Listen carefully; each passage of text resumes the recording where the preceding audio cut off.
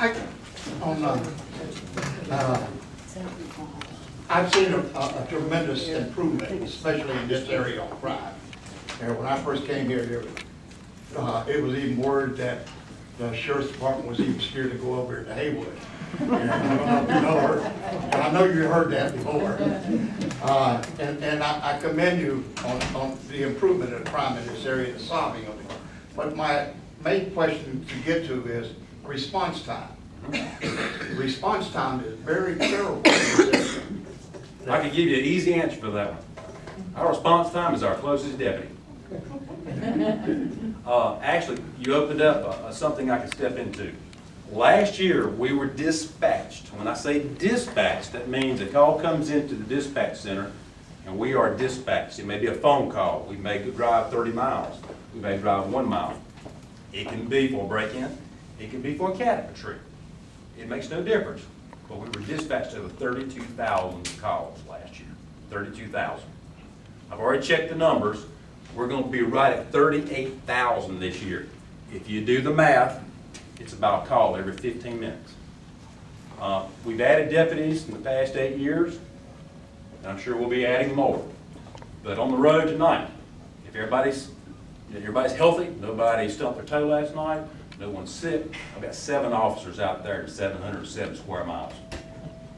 So that tells you right there, if something's going on bad, two officers has got to go to that call.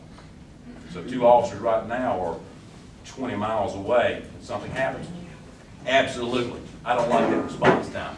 But right now, that's what dictates my call, my, my calls dictate my response time right now. So, Could you please explain um, the need for the new jail? And, and as a follow-up, would you also please explain your assessment of the gang situation in this county? Okay, uh, the detention center, we, uh, we've done a good job, We- work, this is a Pandora's box, really. Uh, The jail was built in nineteen eighty-two for fifty-one people. Last September, we had sixty-eight in a fifty-one bed facility. Sounds simple, but then you have to break down the male, female, misdemeanors, the felonies, people awaiting trial, people the sentenced. There's a lot of, there's a lot of things that go into that right there. We are at capacity right now, at fifty-one. We're usually bouncing off 51, 49, 55. Anytime it gets overcrowded, it's dangerous for my, my people that are working in the detention center. And it's also dangerous for the inmates that are in there. Because, you know, if you've got somebody bunking beside you, they don't put their bunking beside you on the floor and you step on it, it's potential for something bad to happen. And plus the population is increasing, thus, uh, uh, the bad guys are gonna be coming in even more. So we're at the point now, we've got to have a new detention, a new detention facility. And we're in the process now, actually. Hopefully within three years, we will have a new facility in the county. Uh, Moving on to the gangs, we have gangs. Uh, I would say the, there are different points in the county. Uh, Gangs are, are, are mainly urban, I would say that. So they like the little places where they can walk two blocks and get somewhere. Um, I would say where we have most of them is in the Siler City area.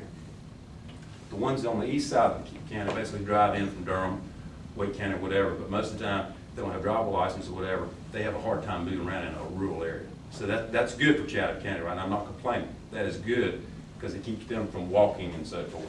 We do have, is it bad as it could be? No. Do we keep our hands on as much as we can? Yes. We do presentations, work with the school system very much so.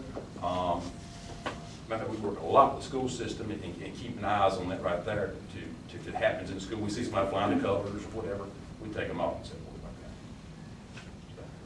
I just want to thank you and commend y'all for coming to our shows that we put on uh, our Thank food, food pantry for the children ID.